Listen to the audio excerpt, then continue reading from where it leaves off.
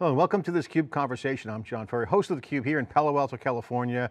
We got two great guests all the way from Ohio and here in the Bay Area with Cequence Security. This is our focus on cloud growth companies. Uh, Shreyans Mehta, co-founder and CTO of Cequence Security, and Jason Kent, hacker in residence at Cequence Security. We're going to find out what that actually means in a second, but this is a really uh, important company in the sense of APIs as they are starting to be the connective tissue between systems and, and data. Um, you're starting to see more vulnerabilities, more risk, but also more upside. So risk reward is high, and anyone who's doing anything in the cloud obviously deals with APIs. So Trey and Jason, thanks for this CUBE conversation. Happy to be here. Guys, let's, let's talk about uh, API security and, and but first, before we get there, Shreyans, what does uh, Cequence Security do? What do you guys specifically um, build and what do you sell? Cequence is in the business of protecting your web and um, APIs from various kinds of attacks. Uh, we protect from business logic attacks, API, uh, do your API inventory.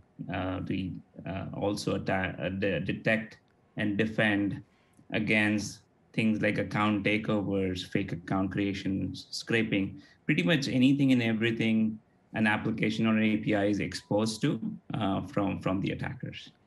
Jason, what do you what do, what do you do there as hacker in residence? I also want to get your perspective on API security from the point of view of, you know, um, an attack standpoint from a vector. How, how, are people doing it? So first, explain what you do, and uh, love the title, hacker in residence. But also, what does that actually mean from a security standpoint? Yeah, so uh, we can't be in the business that we're in without having an adversarial approach to where our customers are deployed and how we look at them. So a lot of times I spend my time trying to beat on a client's back doors and, and try to hit their APIs with as many kinds of attacks that I can. It helps us understand how an attacker is going to approach a specific client, as well as helps us tune uh, for um, our machine learning models uh, to make sure that we can defend against those kinds of things. Um, as a hacker in residence, my mostly my uh, position is you know client facing, but I do spend an awful lot of time doing research and looking for the next uh, API threat that's out there. Yeah, you got to stay ahead of the bad guys. But let's bring up some kind of cutting edge relevant uh, topics. One is uh, all over the news cycle, you heard Peloton, very highly visible company. It represents that new breed of digital companies that have a new approach and it's obviously doing very, very well. And the new consumers like this product. And you're seeing a lot more Peloton-like companies out there that are leveraging technology. So they're uh, fully integrated. They had an API issue recently. Um, what yeah, does this mean? Is that, is that something we're going to see more of? These kind of leaks and these kind of vulnerabilities? What do you guys think about this Peloton thing? You know, from an attacker's perspective, it's a really boring attack, um, but it led to a huge amount of data leaking out. Uh, same with, you know, the news has been been ripe with this lately, right? John Deere got hit. Um, we've seen a, a yet another credit bureau got hit, right? Um, and these attacks are coming off uh, as fairly simple attacks that are dumping huge amounts of data, just proving that the API attack surface is really a great place to get a rich amount of data. But you have to have a good understanding of um, how the application works. So you got to spend a little bit of time on it. But once you've taken a look at how the data flows, you end up with you know a pretty rich data set. As an attacker, I go after them just by simply utilizing their products, utilizing the programs and understanding how they work. Uh, and then I drag out all the pieces that I think are going to be interesting and, and start, you know, plucking away at it. If I see a like a profile, for instance, that I can edit, I wonder, can I edit someone else's profile? And this is how the Peloton attack worked. I'm logged in, I'm allowed to see my things. What other things can I see? And it turns out they could see everything. So we also saw a, a, hack with Clubhouse, which is the hot app now. I think just opened up to Android users, but they were simply calling it back end Agora, which is you know obviously in China.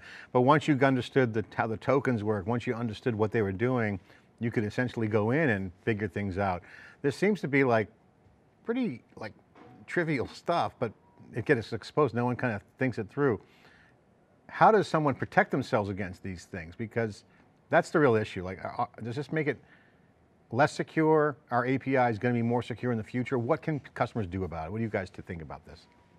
Yeah, so the, the reality is, I mean, there's just uh, too many APIs out there. I mean, the, the, if you see the transition that is happening, the digital transformation where it used to be like a, a one app or two apps before, and now there are like hundreds and thousands of applications driven by the DevOps world, agile development, and and what matters is, I mean, I mean the the starting point really is you cannot protect what you cannot see, right? What used to be uh, an app hosted in your data center is now being hosted in the cloud environments, in the virtual environments, in serverless environments, in Kubernetes, you name it, they're out there.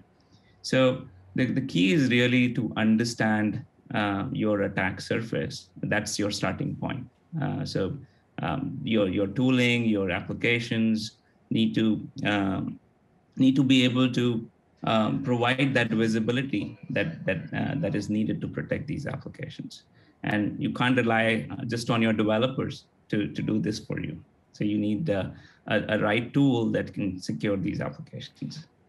Jason, what's the steps that an attacker takes to uncover vulnerabilities? What, what, what goes through the mind of the attacker? Um, I mean, the old days, you, you know, you used to just do port scans and try to penetrate. You get through the, you know, perimeter. Now with this no perimeter mindset, the surface area Shreya was talking about is huge. What are, what's yeah. going on in the mind of the attacker here on the APIs and vulnerabilities? So the, the very first thing that we do is we sign up for an account. We use the thing, right? We look at all the different endpoints um, I've got scripts running in my attack tools that do things like show me comments uh, in case a developer left some comments in there to, to tell me where things are. Um, I basically am just going to poke around using it like a regular user. But in that, I'm going to look for places that make sense to try to do an attack. So a login screen is a real easy thing. Everybody understands that. You put in a username, you put in a password, you hit go. What I'm going to do is put in a bad username and a bad password. I'm going to put in a good username and a bad password. And I'm going to see what changes. What are the different things that your application is telling me? And so when we look at an application for flaws and ways to get to the data on the back end, all we're doing is seeing what data do you present me on, you know, standard use. And then I'm going to look at, well, how can I change these parameters or what are the things that I can change in my requests to get a different response. So in the early phases of an attack, attackers are very difficult to see, right? They just look like a regular user just doing regular things. It's when we decide, all right, I found something uh, that it starts to get actually interesting and we start to try to pull data out. What are some of the common vulnerabilities and risks that you guys see in the APIs when you look when you poke at them that people are are doing? Is it they're not really doing their homework, doing good security design, or is it just more of tech risk? What's the most common vulnerabilities and risks? Well, so for me, uh, I've noticed a lot of um, the OWASP API top 10, the first couple of things you see them on almost all applications. So broken object level authorization is the first one. It's mouthful. Um, but basically all it is is I log on to the platform, I'm authorized to be there, but I can see someone else's stuff. And that's exactly what happened in Peloton. Um, that and what we call insecure direct object reference, where I don't have to be logged in. I can just make the request without any authentication and get information back. So those are pretty common areas um, that you know people need to focus on but there's a few others that are outside the OWASP top 10 that that really make a lot more sense. As, as a defender Shreyans probably has a little better answer than me. Yeah so um, like like we said um, creating that inventory is, is key but where are they being hosted is another another aspect of things. So so when when jason spoke about um, like hackers are actually probing, trying to figure out what are the different um, entry points. Uh, it could be your production environment, it could be your QA environment, staging environment, and you're not even aware of. But once you've actually figured out those entry points, the next step of attack was like at Peloton and, and other places is really exfiltrating exfiltrating that uh, that information, right? Uh, is it is it your PII information, PHI information, um, and and you don't want to exfiltrate as a hacker just one person's information. You are you're automating uh, that business logic that is behind it. Ability to protect and defend uh, against those kinds of attacks, giving that visibility, even though you might not have instrumented that application for, for that kind of visibility, is, is key. Once you're bubbling up those behaviors, then you can go ahead and, and, and protect uh, from these kinds of attacks. And it could be about just simply enumerating through IDs uh, uh, that that Peloton might have or uh, uh, Experian might have, and, and just enumerate uh, through that and exfiltrate the information behind it. Uh, so yeah. The, the the tools need to be able to protect from those kinds of attacks out there. Yeah, I think I was actually on Clubhouse when um, that went down, that whole enumerating through the IDs, room IDs, and then the people just querying, once they got an ID, they essentially just sucked all the content out because they were just calling the back end. It was just like the most dumbest thing I've ever seen. But they didn't think about it. I mean, you know, they were just rushing really fast. So, so the question I have for Shreyans is, and on a defense basis, people are going first party um, with APIs, API first strategies. Um, because there's, there's some benefits there as we were talking about. What do I need to do to protect myself so I don't have that clubhouse problem or the Peloton problem? Is there a, is there a playbook or uh, is there software tools that I could use? How do I build my APIs from day one and my principles around it to be good hygiene or good design? What's the, what's the, uh, what's the yeah, practice? so uh, API security is uh, sort of a little um, less known um, given that it's constantly uh, evolving and changing and, and the adoption of APIs uh, have gone up significantly. So we, what you need to start with effectively is the runtime security aspect of things. When a, an API is live, how do I actually protect it? And it, it ranges from uh, simple syntactic protection, things around that people can, can go ahead and, and break these APIs by providing sort of uh, um, going after endpoints that you don't think uh, exist anymore or going after certain functions by giving large uh, values that they're not um, sort of coded to accept and so on and so forth. Uh, once you've done that runtime protection from a syntactic aspect, you also need to protect from a business logic aspect. I mean, APIs will will expose uh, to in, uh, information to interact with the customers and partners. What what business logic are they actually exposing, and how can it be abused? Understanding that is another big aspect, and then you can go ahead and protect from a runtime um, uh, from a runtime security perspective. Once you've done that and understood that well, then you can start start shifting left. Things that invest in your uh, sort of uh, DAST tools or or uh, static analysis tools, which can catch these things early so that they don't bubble up all the way. But none of them are actually silver bullets, right? So that yeah. you have a good uh, runtime security tool, so I don't need to invest in DAST or a SAST, or I've I've invested in my shift left aspect of things and uh, and nothing will flow through. So you you need to start shifting left, uh, but cover all your bases properly. Yeah, you can't shift left. There's nothing to shift from. I mean, if you don't have that baseline foundation, what does that even mean to shift left and get that built into the CI/CD pipeline? So that's a great point. Um, how do the, how does someone and some companies and teams set that foundation with the runtime. Do you think it's a critical problem right now or most people are do a good job or they just get, they get lazy or just lose track of it? Uh, or, you know, what, what's, what's the common um, use case do you see behavior, behaviorally inside these enterprises?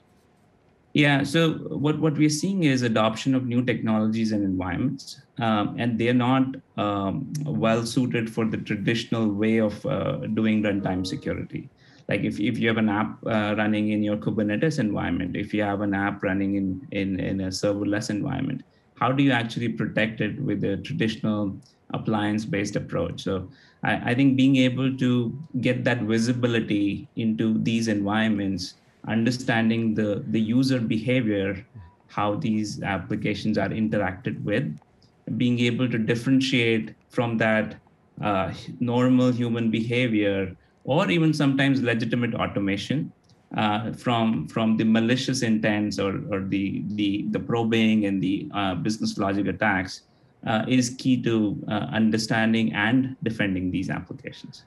Before we wrap up, I want to just get your expert opinion since you guys are both here around you know, the, the, the next level of, of innovation. Also you got cloud, public cloud showed us APIs are great.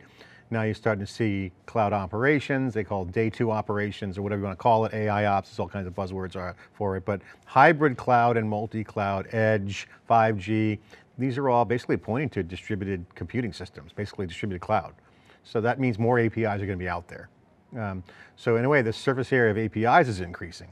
What's your, what's your view on this as a market? I mean, early days, uh, developing fast, and what's, what's, the, what's the landscape look like? What do you guys see from a you know, attack and defense standpoint? Well, just from the attacker perspective, you know, I see a lot more traffic going what we call east-west traffic, where it's traveling inside the application. It's APIs feeding APIs more data. Um, but what is really happening is we're trying to figure out how to hook third parties into our APIs more and more.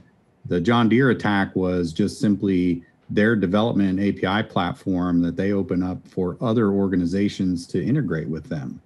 Um, you know, it's it's very beneficial for John Deere to be able to say, I planted this seed at an inch and a half of depth, and later uh, I harvested 280 um, bushels of corn off that acre. So I know that's perfect. I can feed that back to my seed guy.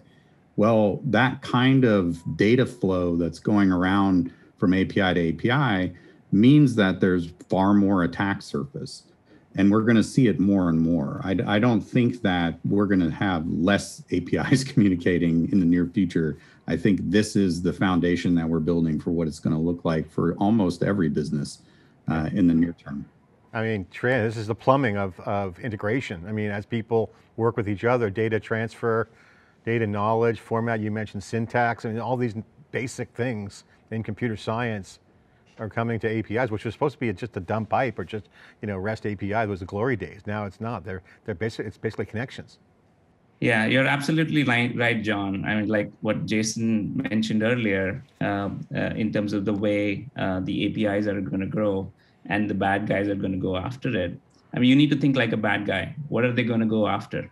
Um, these, these assets that are going to be in the cloud, in your hybrid environment, in, in your on-prem environment and and it's it's a flip of a switch uh, where where an internal API can be externally exposed or uh, or just a new API getting rolled out.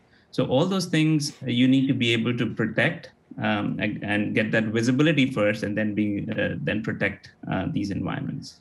That's awesome. You guys represent the new kind of company that's going to take advantage of the cloud scale, and as people shift to the new structural change and people are refactoring security, this is an area that's going to be explosive in development. Obviously the upside is huge.